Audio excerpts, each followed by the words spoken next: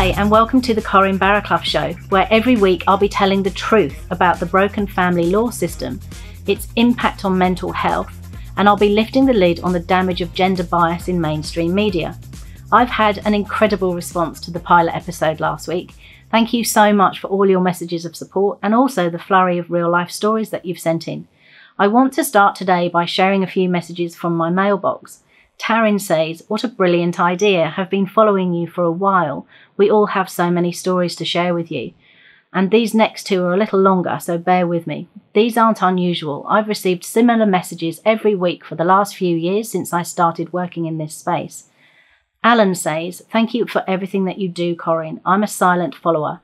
I still find it impossible to watch or listen to everything you do because I find it all so triggering. I never thought I would become a snowflake, but the trauma is always there, hidden in the background. Seeing the latest ads all over the place about domestic violence makes me feel sick. Thank you so much. We had a few messages back and forth, and he continued, I know I'm one of the lucky ones. I was the primary carer of my two very young children. My partner has a malignant cluster B personality disorder. She would threaten to kill the children or remove them from me forever if I didn't do what she said. When the youngest was out of nappies, she made her move and withheld the children from me. The court did not care about my stories of domestic violence. His story is heartbreaking. It's not unusual, and it sums up perfectly why I wanted to do this show so much to give you all a voice. And then we have Chris, who says, I'm happy to have a chat whenever you want, Corrine. It's 13 years since I've seen or spoken to two of my kids. Their mother still has emotional blackmail control over them, and my experience in the courts is pretty shocking. I know you get heaps of messages, but I'm just one of thousands of people watching your page in a positive way. Chris, I'll be in touch with you this week. Please keep your stories, leads, information, and feedback coming. My interview today is with a really impressive, courageous psychologist from London who's working hard to shine a light on the gender bias within her own sector Deborah Powney, a PhD psychology candidate in the UK, focusing on recovery and adaptation, male and female victims of intimate partner violence. Essentially, she researches recovery from DV regardless of gender. So, I'm very excited about speaking to Deborah Powney, who's a um, really, really strong and courageous psychologist based in London. So, we're going to head over to the UK and catch up with her now. Hi, Karen. Hi, how you doing, Debs? I'm doing well. Yeah, how are you? Very good, thank you. Excellent. we'll get stuck straight in. Okay. So much that I want to talk to you about. So let's start with your online survey, which was okay. um, an online survey looking specifically into men, but there were also women featured in the survey too. How did it mm-hmm. go? What were you researching, and why were you looking into that? Okay, uh, it went phenomenally well. I'm currently sat on the world's largest data set of its type. Wow. Um, it, it, uh, it, it, blew me away how successful it was. Um, the reason I wanted to do it, it, ca- it came about absolutely because of um, COVID, um, because I had another study, study ready to go live, yeah. Um, which was looking at uh, recovery of male victims using um, peer mentoring and um, walking in the outdoors. Where I, I live in the middle of nowhere, and um, I'm very thankful for the the health benefits of, of where I live. Um, but literally, with a week to go to launch, uh, we went into lockdown. So uh, I furiously scribbled a um, a wish list survey, I think it'd be best described, for what I would want uh, an initial foundation survey to cover for male victims. The reason being that there's an absolute uh, millions of uh, research that looks at female victims of domestic abuse, um, but very, very few. Um, and I've read all of them. That's how few there are. Uh, deals with um, male victims. And as I study male and female victims as part of my PhD, um, I'd identified a gap and wanted to know more. So uh, the survey actually included um, a huge amount, uh, including four psychological scales that take victims from when the abuse first manifested, right through to how they've adapted now. But also, a lot of um, myth busting questions were in there. Um, so, for example, um, the feminist model tends to even even if they acknowledge that men can be victims, tends to say things like men don't get injured, men don't feel fear, and men can leave whenever they want. Um, so, being a, a, northern English last uh, at last, we call a spade a shovel, and uh, I ask those very questions: um, Are you or were you afraid of your partner? Um, yeah. Why didn't you leave if if you were still in the um, abusive relationship? And um, were you hurt or injured? And overwhelmingly, uh, got the exact opposite of what had been presented by the feminist model. What is the prize? I'm yes. well, for example, one of the myths they put out there is that men don't reach out, so they don't yes. ask for um, help. And um, 86% of the men that did my completed my survey, of which there was almost 1,400, um, yeah. had reached out for help. So it's help? no. yeah, yeah, it did. It did. I mean, to be honest, it depends where they've reached reached out for, and even then, it was um, a bit hit and miss. But where the, you can imagine that they didn't reach out to domestic abuse services because there aren't any for them. Yeah. Um, the official line tended to be GPs um, or homeless services if they were homeless, um, or solicitors. Um, yeah. But it tended to be less formal, so more about friends and family um, and, and, and that kind of stuff. And even then, there was a, a real mix of whether they were believed or not. Yeah, yeah, absolutely. Tell me what your issue is with the gendered narrative around violence and tell me what does the data actually say? Okay, well, um, the I, I have huge issues with the gendered model, but to put it in a nutshell, yeah. it doesn't help anybody. It actually harms everybody, including the women that it professes to protect. And the reason for that is very simple is that the gendered model has a central premise for domestic abuse. And it says that domestic abuse is committed by men against women because they are women. Mm-hmm. Now, that sounds um, very simplistic, and it is very simplistic and untrue. It prevents the real mm. issues behind domestic abuse ever being discovered because they put it down to the mythical patriarchy. Mm-hmm. Um, but also, it makes women victims uh, by accident of birth. If you're told that you're being victimized because you're a woman, how, how do you overcome that? How do you overturn yeah. that? How do you adapt to that?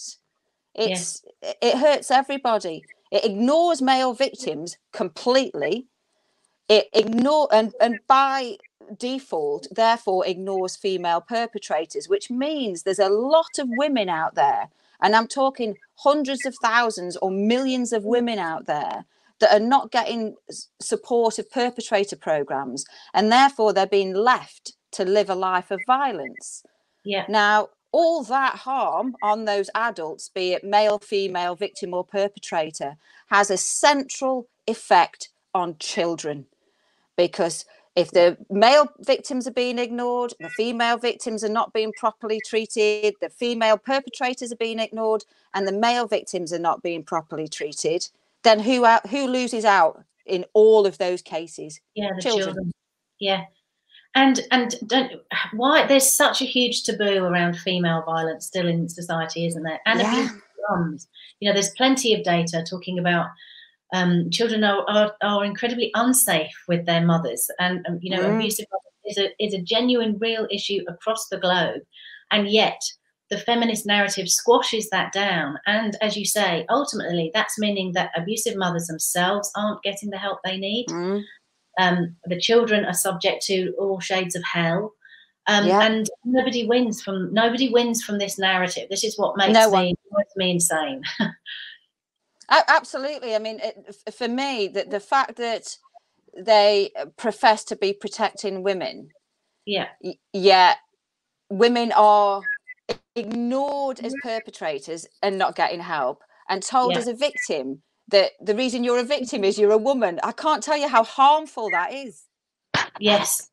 Now, look, you both, you and I, have both copped pretty fierce backlash from the Oh, yes. feminist, feminist pack, and we won't name specific names, but you know, both you and I know who we're talking about. Um, Yeah. But they like, to, they like to own the narrative around domestic violence, and there's a lot of money at stake. But tell me, why do you think they're so afraid of the truth? Is it money? Yes, uh, Hmm. I, I think it's a, a multitude of sins, shall we say? And um, I, I, I use sins in, in as a sort of half tongue-in-cheek issue here because you can compare the ideology that surrounds the issue of domestic abuse with feminism directly to not religion as a whole, but a maladaptive religion or cult, if you want to put it in, in that way. And and if you think about cults, and I am studying them as, as part of my thesis, um, you can they have a hierarchy where those at the bottom of that hierarchy will actually think they are doing good.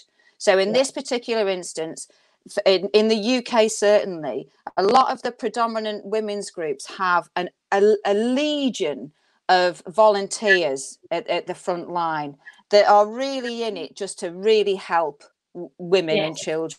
There is there is no doubt about it. Yeah. Absolutely.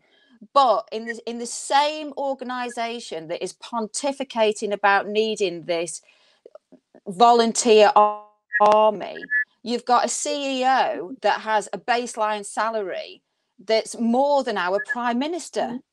Yeah. It, and uh, so, how how do those two things compare? And uh, Yeah. I, I suppose you, you can compare it to uh, cult leaders that are sending out their minions to do the the the work and beg and get money and Yeah. slave labor and all the rest of it. Meanwhile, they're swanning around in yeah, Yeah. They're, they're doing all that. Meanwhile, they're swanning around in a fleet of Rolls Royces, and Yeah.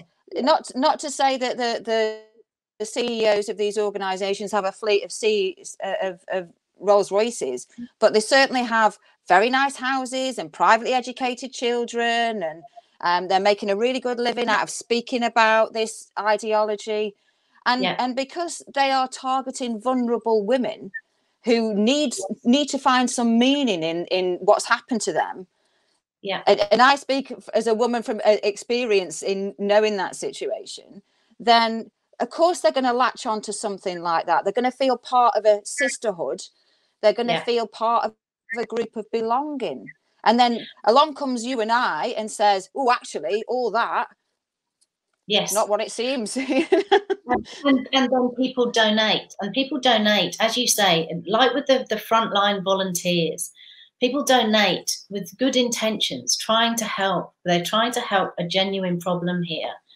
but all of the money goes on marketing advertising and propaganda and it's all to keep Yeah. that um, that narrative of fear alive and thriving because that guarantees the next round of funding which keeps the whole machine ticking along again. And it actually doesn't doesn't even begin to fix the real issues. It doesn't look at any societal problems. We're blaming an imaginary em- enemy rather than beginning to tackle all of the societal contributing factors which you and I could talk about forever so Dr. John Barry and Martin Seager set up the male psychology section of the British Psychological Society. How many votes went against the formation of setting that up specifically for men? Can you tell Mhm. me? Well, um, uh, 2,100 people voted for this action, and 1,300 people voted against this action. Um, So it was a, like a two to one ratio of those that had voted for the section and against.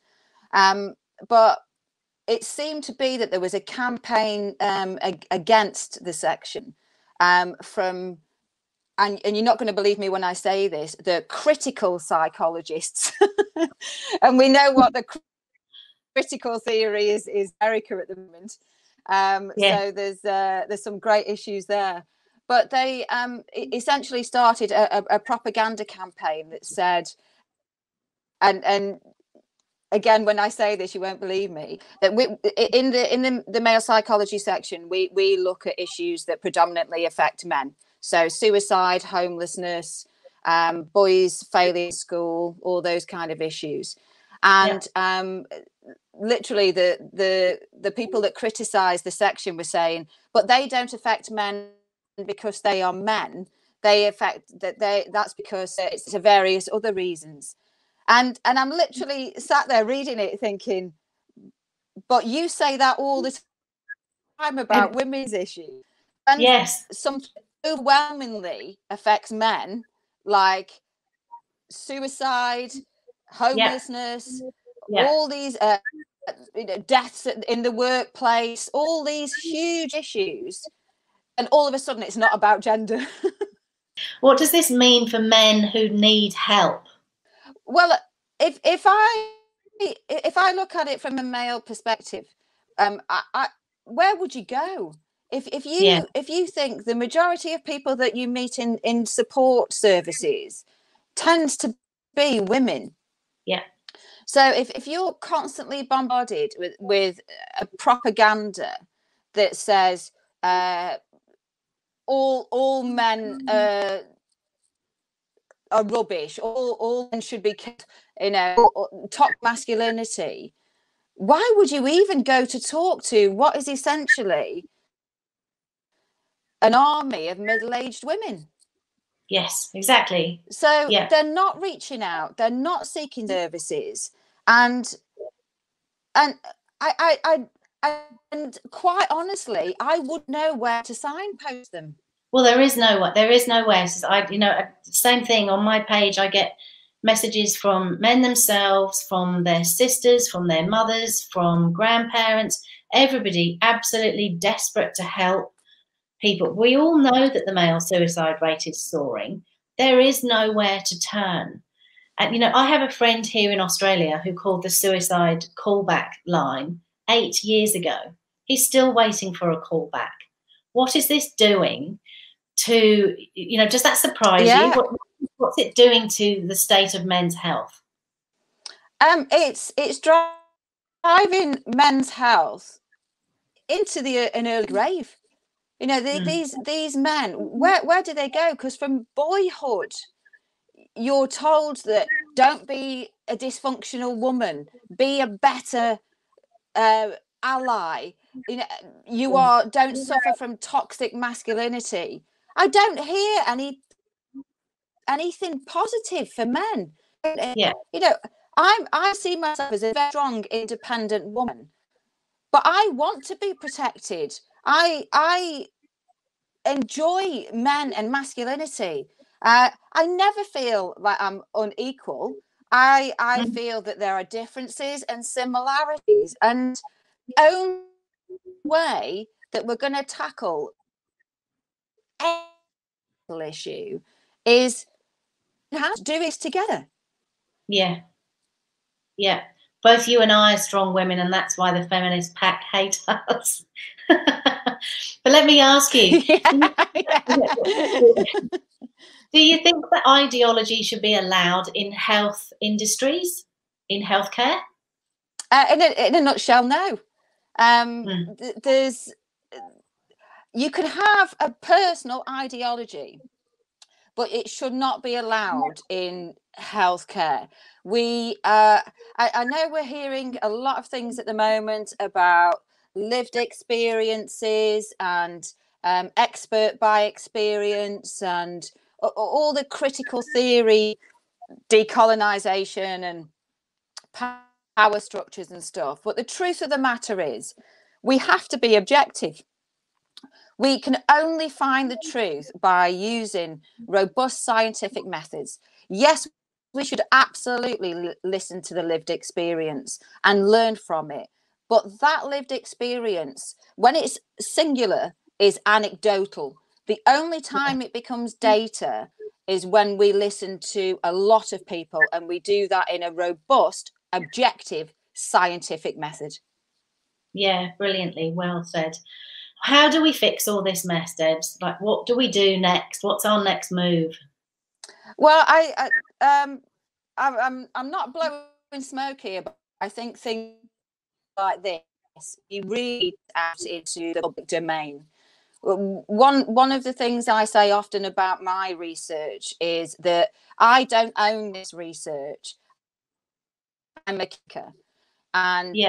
men have trusted me to give me their data, and now it's my job to analyze it and use it and get yeah. it out there and get it told and plug that gap. So every time I hear the gender model telling me that men don't feel fear, I can stand mm-hmm. up and go, uh, I've got some data here to disprove that.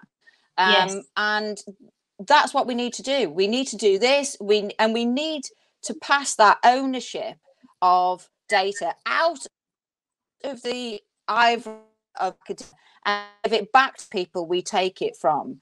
And yes. I would love the men and the families that love them that give me this data to be able to take my analysis and challenge politicians.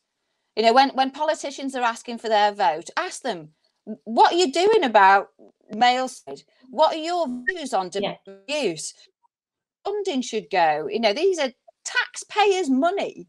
Taxpayers that are funding a maladaptive religion.